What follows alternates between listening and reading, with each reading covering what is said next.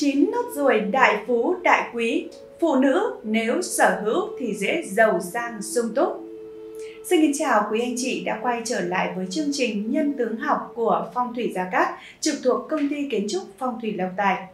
Quý vị thân mến, trong nhân tướng học, tùy từng vị trí, màu sắc và kích thước của từng nốt ruồi mà nó có thể đem lại may mắn cho vận hạn của chủ nhân. Nốt ruồi ở một số vị trí sau đây không chỉ là một điểm nhấn giúp cho nữ chủ nhân tăng thêm vị quyến rũ mà còn có thể đem lại nhiều may mắn tài lộc cho người sở hữu. Đầu tiên đó là nốt ruồi trên ngực.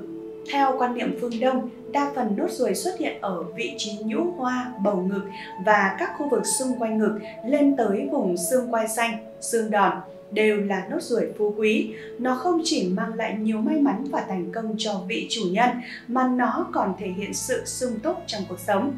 Người xưa có câu, nốt ruồi mọc quanh bầu ngực là kho vàng kho bạc, tích được nhiều đất đai nhà cửa, ruộng vườn hoặc có khả năng được thừa kế một khối lượng tài sản khổng lồ.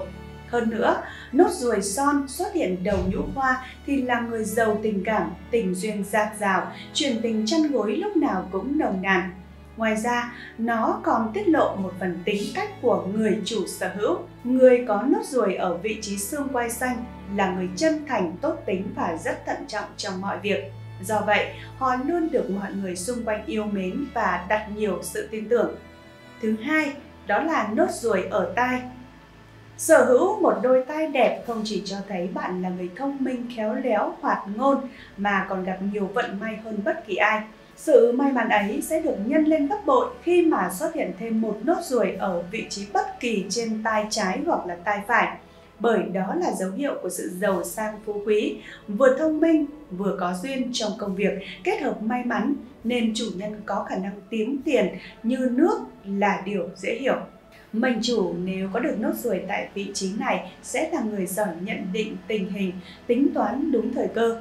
Đó chính là yếu tố quan trọng giúp cho bạn luôn thích nghi và phát triển tốt trong mọi hoàn cảnh sống, cho dù ở bất kỳ điều kiện và hoàn cảnh nào.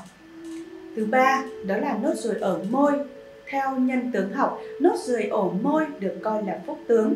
Cuộc đời họ luôn đầy đủ vật chất và rất ít khi phải lo lắng về chuyện cơm áo gạo tiền. Những người này cũng rất có năng lực trong kinh doanh, buôn bán hay là giỏi mở rộng các quan hệ xã hội. Người có nốt ruồi ở môi trên thường xuyên được mời đi ăn uống hay làm ăn ngon và còn có được mối quan hệ làm ăn buôn bán rất tốt đẹp. Tuy nhiên, có một nhược điểm là khi quá căng thẳng rất dễ đắc tội với người khác. Ngoài ra vì mệnh kỵ thủy nên sẽ dễ gặp nạn về đường thủy. Bên cạnh đó, nếu nốt ruồi ở môi dưới chứng tỏ bạn là người cầu toàn, làm việc có kế hoạch và cẩn thận trong mọi công việc. Thứ tư, đó là nốt ruồi phía trước cuống họng. Người có nốt ruồi ở phía trước cuống họng thường có cuộc đời cực kỳ may mắn, hiếm khi có khó khăn cản đường. Những người này thường thành công trong sự nghiệp, có quý nhân phù trợ, giúp đỡ nên việc thăng quan tiến chức ầm ầm là điều rất dễ xảy ra. Người có nốt ruồi nằm ở vị trí này nếu làm các công việc như biên tập, lập trình hoặc làm nghệ thuật thì sẽ gặt hái được rất nhiều thành công. Nốt ruồi ở tai tượng trưng cho tài vận và sức khỏe. Nốt ruồi trên tai phần lớn được xem là nốt ruồi tốt. Người có nốt ruồi ở phần trên của tai là người bẩm sinh thông minh, có là buôn bán, kinh doanh. Còn người có nốt ruồi ở phần dưới tai là người có tài vận vô cùng tốt đẹp, hiếu thuận với cha mẹ. Người có nốt ruồi ở trong tai lại là người trường thọ. Nếu có nốt ruồi trên vành tai hoặc là thùy tai, điều đó chứng tỏ bạn là một cô nàng thông minh, có phúc khí, sống thọ và vận tài lộc rất tốt.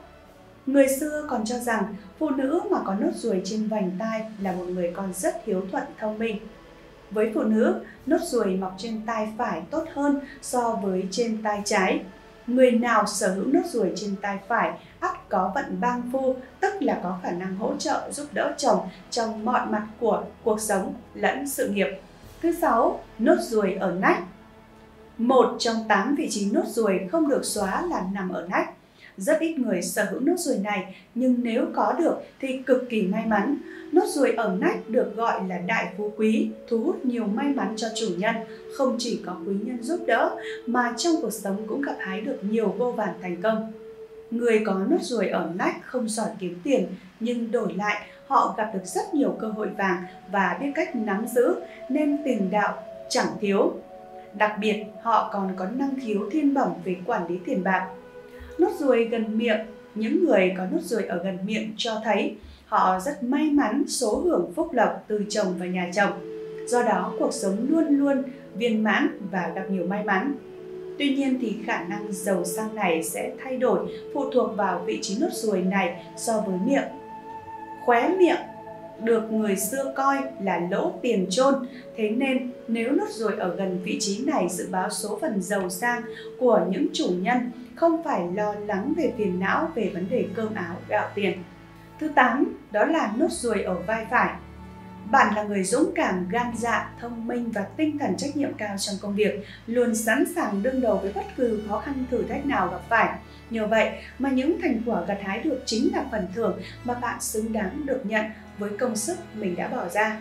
Hơn thế nữa, nó còn là dấu hiệu của sự phát tài phát lộc. Tuy nhiên, nếu bạn vô tình sở hữu nốt ruồi ở vai trái thì bản thân nên thận trọng ngôn từ khi mà giao tiếp để tránh những cuộc cãi vã với người thân xung quanh. Dù vậy, với trí tuệ thông minh vượt trội, bạn hoàn toàn có khả năng giải quyết những rắc rối này một cách dễ dàng. Thứ 9, đó là nốt ruồi ở lưng. Nốt ruồi ở vị trí gần xương sống biểu hiện cho sự nổi tiếng cả về danh tiếng và sự nghiệp. Chủ nhân sở hữu sẽ trở thành các nhà lãnh đạo tài ba.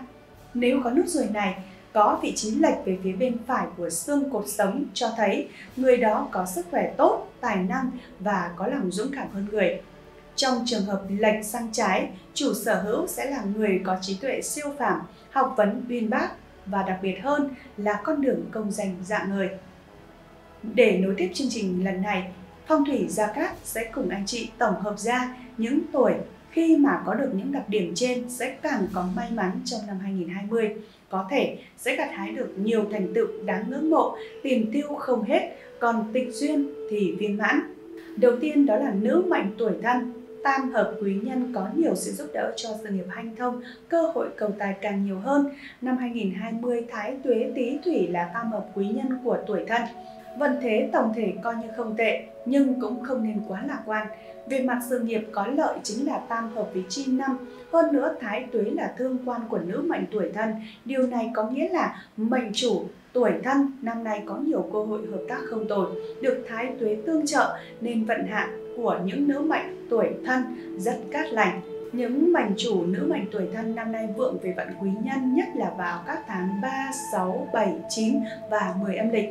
Về sự nghiệp thì cũng được nở mày nở mặt, chỉ cần cố gắng có chi tiến thủ, ắt sẽ có thành quả tốt. Có sự xuất hiện của tướng tinh trợ mệnh giúp ích cho những ngành nghề như văn thư, nghiên cứu khoa học, sáng tác nghệ thuật, thiết kế rất nhiều.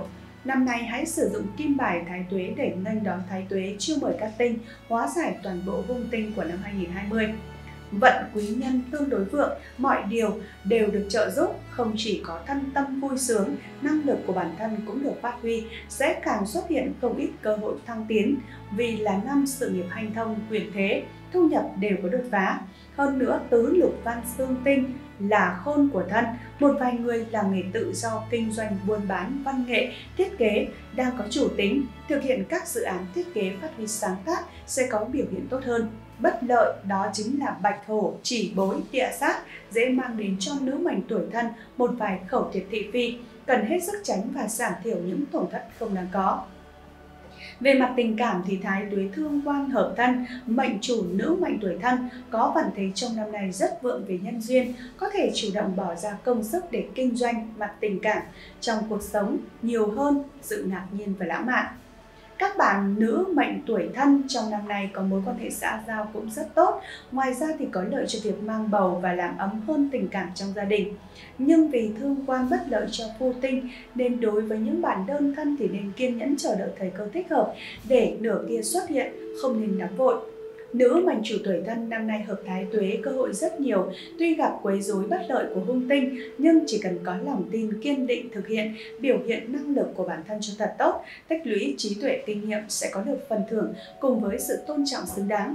Để hóa giải vận hạn và tăng cường thêm tài lộc may mắn cho năm 2020, các bạn hãy sử dụng vật phẩm phong thủy bát bảo tâm kinh và vòng tam hợp quý nhân thân tí thìn theo sự hướng dẫn của chuyên gia phong thủy để hộ thân tăng cường tài lộc của mình. Nữ mệnh tuổi thìn tam hợp thái tuế quý nhân vượng những mệnh chủ nữ mệnh tuổi thìn nếu có những đặc điểm trên sẽ rơi vào năm canh tí 2020 tương hợp với thái tuế được quý nhân tương trợ cho nên về tổng thể mà nói là vận thế không tệ.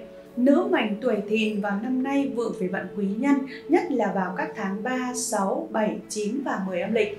Về sự nghiệp thì có thổ khí nên cũng được nở mày nở mặt, chỉ cần cố gắng có chí tiến thủ, ắt sẽ có thành quả tốt có sự xuất hiện của tướng tinh và quốc ấn trợ mệnh giúp ích cho những ngành nghề như văn thư, nghiên cứu khoa học, sáng tác nghệ thuật, thiết kế rất nhiều. Năm nay, hãy sử dụng kim bài thái tuế để nghênh đón thái tuế, chiêu mời các tinh hóa giải toàn bộ hung tinh của năm 2020. Về mặt tài vận, lưu niên thiên can canh kim sinh vượng, địa chi tý thủy là chính tài, tài tinh lại hợp thân, cho nên với những mảnh chủ nữ mảnh tuổi thìn trong năm nay được coi là năm của tài tinh. Chính tài nói về thu nhập, đồng lương của người công chức, cho nên trong năm nay về vận tài lộc tương đối hanh thông. Mệnh chủ nhận được tài lộc từ công việc chính của mình, những công việc vụ sẽ không có thêm nhiều thu nhập cho bạn. Về mặt tình cảm, chính tài sinh quan, nam nữ mệnh chủ tuổi thìn đều được người khác giới ái mộ và yêu quý, vận đào hoa tương đối tốt, những người độc thân thì nên nắm bắt cơ hội tốt này. Điều cần nhắc nhở vào năm canh tí là bị lưu niên thiên can tiết thân lại gặp hoàng phan tinh cho nên năm nay dễ mắc những bệnh mãn tính hoặc là nguy cơ mắc bệnh khác tiềm tàng dẫn đến sức khỏe không được lưu lý tưởng phải hao tải tốn của cho bệnh tật khuyên bạn nên dùng vật phẩm các tường phong thủy để hóa sát gặp hung hóa cát được bình an mạnh khỏe trong năm nếu như có vật nuôi trong nhà cũng cần phải chú ý đến sức khỏe và vệ sinh để tránh vật nuôi bị bệnh tật lây nhiễm Ngoài ra hãy luôn mang theo bên mình bát bảo tâm kinh để gặp hung hóa cát. Tiếp theo đó là nữ mệnh tuổi Sửu. Tiến sang năm 2020, nữ mệnh tuổi Sửu nếu có những đặc điểm trên sẽ có khá nhiều thay đổi. Canh thổ tuế can lộ xuất thương quan, thái tuế tý thủy tọa tại thứ thải cát tinh thương quan sinh thứ tài mà thái tuế tý và con giáp sửu tạo thành cục diện nhị hợp nên sẽ có nhiều tin vui báo về. Vì con giáp tý và sửu tương hợp, nhiều cơ hội hợp tác phát triển. Vì vậy mà năm canh tý, mệnh chủ tuổi sửu nên tận dụng cơ hội để xây dựng mối quan hệ tốt, đặt nền tảng cho sự phát triển các mối quan hệ giữa cá nhân và sự nghiệp trong tương lai sẽ rất cát lành. Về mặt công việc thì sự xuất hiện của Thái Dương, Ngọc Đường, Bản An, Thiên Xá và Thiên Y cùng xuất hiện có lợi cho vận trình phát triển sự nghiệp của mệnh chủ tuổi Sửu. Đây là một năm có nhiều cảm xúc trong công việc của mình và có thể nhận được sự ưu ái giúp đỡ của quý nhân. Tử vi năm 2020 của nữ mệnh tuổi Sửu cho thấy con giáp này nếu hợp tác làm ăn thì hiệu quả công việc sẽ tăng cao, các kế hoạch đề ra cũng chỉn chu hơn, nhất là với những ai làm kinh doanh buôn bán thì càng thấy rõ qua mức lợi nhuận tăng lên rõ rệt thứ tài vượng có lợi cho các dự án thủy lợi hay ẩm thực như tài lộc về nhà nhiều như nước, bản mệnh kiếm được tiền bằng chính tài trí của mình. Hơn nữa, tài lộc toàn tự tìm đến với những nữ mệnh tuổi sửu, chứ còn giáp này chẳng cần phải tìm kiếm mất thời gian tài lộc bất ngờ, hoạnh tài, các khoản đầu tư đều thu được nguồn lợi lớn, con giáp này dễ dàng có tiền trong tay. Tuế can lộ xuất thương quan, trong công việc cần phải lưu ý kẻo vướng họa khẩu thiệt thị vi. Hãy cẩn trọng với hành động và lời nói của mình. Tốt nhất là nói ít làm nhiều để hạn chế nói nhiều nói sai mà bị tiểu lầm hoặc là kẻ tiểu nhân xúc xỉu Vậy nên hãy luôn mang theo bên mình pháp khí hộ thân, kim bài thái tuế để nhanh đón quý thần, hóa giải hung tinh, chọn đời luôn được bình an may mắn. Trong năm 2020 phạm tam tai, con giáp này còn có thể đón nhận những tin chẳng mấy tốt lành, tuy nhiên chỉ ở mức độ nhẹ. Có thể làm việc do dự thiếu quyết đoán, không đủ tự tin cũng sẽ dẫn đến thất bại khó tránh. Bản mệnh cần phải chủ động tích cực trong việc thể hiện mình, nắm giữ thời cơ sẽ dễ dàng có được mục tiêu mình mong muốn. Trong năm, chuyện học hành thi cử của những chú trâu vô cùng tốt, thành quả đạt được không ngoài kỳ vọng, không phụ thuộc học hành vất vả suốt một thời gian dài của bản mệnh. Hãy tích cực cố gắng học hành cho tốt, chịu khó tham gia các kỳ thi để trau dồi thêm kinh nghiệm, kiến thức cho mình, đặt nền móng vững chắc cho những thành công về sau. Tuy nhiên thì trong năm thủy khí quá vượng, do chịu ảnh hưởng của thái tuế tý thủy, con giáp này dễ cảm thấy áp lực và nặng gánh, khiến cho tinh thần căng thẳng, không được dễ chịu thoải mái. Điều này không có lợi chút nào cho sức khỏe của máy chủ nên tìm cách để cân bằng giữa công việc và cuộc sống, làm việc chăm chỉ nhưng cũng cần phải nghỉ ngơi giải trí phù hợp, tự tạo ra niềm vui và cảm hứng cho mình. Có thế mới tránh được những tác động xấu đến sức khỏe. Hàng ngày thì nên dành thời gian để tập luyện thể dục thể thao, tăng cường sức đề kháng. Cũng đừng quên tâm sự chia sẻ với người thân và gia đình, vừa tăng tình đoàn kết mà còn vừa có thể điều tiết được cảm xúc của mình. Để được bình an trong cuộc sống, hãy luôn mang theo bên mình pháp khí phong thủy, bát bảo tâm kinh và vòng tam hợp quý nhân tỵ dậu sửu. Nữ mệnh tuổi tỵ Nữ mệnh tuổi tỵ phần nào chịu ảnh hưởng của thái tuế ngũ hành xung khắc nên phải gánh trên vai khá nhiều áp lực, nhất là về vấn đề kinh tế. Có thể sẽ bị chèn ép và hạn chế rất nhiều, có cơ hội nhưng khó bề nắm bắt. Sự nghiệp cũng không được như ý. Trong năm canh tí, tuế can canh thổ lộ xuất chính tài, thái tuế tý thủy gặp chính quan tinh, tý thủy và tỵ hỏa xung đột mạnh. Về phần vận khí, sẽ phải nhiều khó khăn về phía những chú rắn. Để mọi việc viên mãn hóa giải các xung sát do thái tuế ảnh hưởng tới, mệnh chủ cần phải luôn mang theo bên người một kim bài thái tuế. Thời gian này, bản mệnh sẽ có kha khá cơ hội tiếp cận với tài lộc, thường là những mối buôn bán nhỏ lẻ hay là việc làm thêm tăng thu nhập. Tài lộc tuy nhỏ nhưng tích tiểu thành đại, có điều may mắn thường như cắt trượt qua tay, khó lòng nắm giữ. Về phương diện sự nghiệp thì con giáp này không được cấp trên ưu ái phát triển năng lực của mình. Bản mệnh muốn thể hiện bản thân nhưng không được trao cho cơ hội. Ngoài mặt không phải chịu áp lực gì, nhưng với con giáp này, điều đó lại là áp lực vô hình khi mà mọi thứ cứ dậm chân tại chỗ. Nữ mệnh tuổi tỵ thường lo sợ việc mình trở nên vô hình trong mắt người khác, luôn nỗ lực để gây ấn tượng xây dựng chỗ đứng cho bản thân. Tuy nhiên điều này sẽ mang tới nhiều sự bất mãn cho bản mệnh trong năm nay, đòi hỏi cần phải bình tĩnh, giữ cho đầu óc sáng suốt, tìm cơ hội chính xác để chuyển mình đổi vận. Thái tuế năm 2020 cũng không mang theo không ít hung tinh gây xung sát cho tuổi rắn, chủ yếu gây hỏa tán tài hao lộc và mất đoàn kết giữa các thành viên. Ngoài ra, những người cầm tinh con giáp này cần phải nhớ kỹ năm canh tí chớ nên chủ quan tham gia đầu tư mạo hiểm hay là chơi cờ bạc đỏ đen. Thái tuế ngự tại chính quan cho thấy sự hiện diện của chính nghĩa cũng là đại diện của pháp luật. Đi trái với vận mệnh mà làm trái pháp luật thì chắc chắn sẽ gánh chịu hậu quả nặng nề. Không chỉ mất tiền mất của mà còn có nguy cơ vướng vào vòng lao lý. Năm tý thủy còn tượng trưng cho sự tiêu cực, bất cần trong suy nghĩ và hành động do hỏa khắc chế, có thể sẽ gây ra áp lực lớn về mặt tinh thần hay là gây ra vết thương ngoài da. Tim mạch không được tốt sẽ ảnh hưởng lớn đến cuộc sống của con giáp này bản mệnh dễ nổi nóng bốc đồng và chịu thiệt nên suy nghĩ kỹ trước khi hành động, giữ cho mình được lạc quan yêu đời, tin vào bản thân mình. Dù có chuyện gì xảy ra thì con giáp này cũng cần phải hết sức nỗ lực để gây dựng chỗ đứng cho bản thân. Nhưng đôi khi lại thấy cảm thấy chán nản, bất mãn khi mà cố gắng của mình không được thừa nhận mà mắc phải sai lầm đáng tiếc để bổ trợ thân mệnh cho gia chủ kích tài nạp phúc, nạp tài, tinh hóa nghiệp lực, gia trì công đức cho mệnh chủ, giúp cho công việc làm ăn được hanh thông thuận lợi, thành công trong sự nghiệp. Mệnh chủ cần mang theo bên người một trang sức trợ mệnh, đó là bát bảo tâm kinh hoặc minh quang pháp bảo. Theo dõi tử vi năm 2020 của nữ mệnh tuổi dần, nếu con giáp này mà có những đặc điểm như đã được nêu ở trong phần 1 thì trong năm không chịu ảnh hưởng của thái tuế, vận trình nhờ thế mà cũng bớt phần xui xẻo lận đận năm canh tí dần thổ lộ xuất thiên quan, thái tuế tý thủy có chính ấn trợ mệnh tương sinh cho tuế can canh kim, giúp cho bản mệnh thêm may mắn. Để được thái tuế tương trợ và gặp nhiều may mắn hơn, hãy luôn mang theo bên mình kim bài thái tuế năm 2020 để được quý thần tương trợ, tăng cường các tinh, hóa giải hung tinh, mang lại may mắn bình an trong cuộc sống. Vận trình của nữ mệnh tuổi dần năm 2020 về cơ bản thì sẽ gặp được khá nhiều cơ hội để chuyển vận cho mình. Song các cơ hội này không dễ để nắm bắt và nắm giữ được thì mới có lợi cho việc thăng quan tiến chức, đồng thời nhận được sự ưu ái và nâng đỡ của cấp trên. Đặc biệt là trong năm canh tí này, bản mệnh thi cử rất suôn sẻ, lấy bằng cấp chứng chỉ dễ dàng, xin việc ứng tuyển cũng thuận lợi, có thể thoải mái thực hiện kế hoạch nhảy việc hay là điều chuyển vị trí thích hợp có được mức lương thưởng và đãi ngộ tốt hơn. Song con giáp này cần phải chủ động, tích cực, đồng thời tận dụng các mối quan hệ sẵn có bởi thái tuế không trực tiếp tương sinh cho bản mệnh nên chỉ có cho cơ hội chứ không cho may mắn. Ngoài ra, thái tuế là tý thủy là chính ấn tinh của tuổi dần, tượng trưng cho sự hỗ trợ, giúp đỡ của trưởng bối của con giáp này, đồng thời cũng thể hiện sự thuận lợi hơn trong các dự án có tính lưu động. Trong năm thì cũng có khá nhiều hung tinh nhưng nhờ có các tinh che chở lại không chịu ảnh hưởng của thái tuế nên không gây ra quá nhiều hậu quả. Tuy nhiên, nó vẫn sẽ mang tới những trận kinh sợ hoặc là tổn hại nho nhỏ với bản mệnh và người thân mới thoát khỏi vận hạn thái tuế nên vận trình ban đầu còn nhiều gian nan vậy nên nữ mệnh tuổi dần cần mang bên mình pháp khí phong thủy bắt bảo tâm kinh vào vòng tam hợp quý nhân dần ngọ tuất để tăng cường quý thần tương trợ, hóa giải thị phi, kích hoạt tài lộc cho nữ mệnh tuổi dần năm 2020.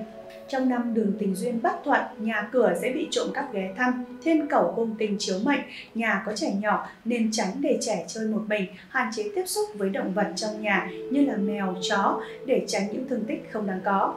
Theo dõi tử vi năm 2020 của nữ mệnh tuổi dần thì có thiên ấn và chính ấn cùng trợ mệnh, học hành thi cử lấy bằng cấp, chuyển việc, xin việc, thăng quan tiến chức sẽ vô cùng dễ dàng. Song cũng đừng quá chủ quan bởi cơ hội trong năm không nhiều, nếu không biết nắm bắt thì cũng khó có thể xoay chuyển được vận mệnh. Cần phải chủ động tìm kiếm nắm giữ cơ hội dành cho mình, đừng lười biếng cũng đừng chần chừ do dự.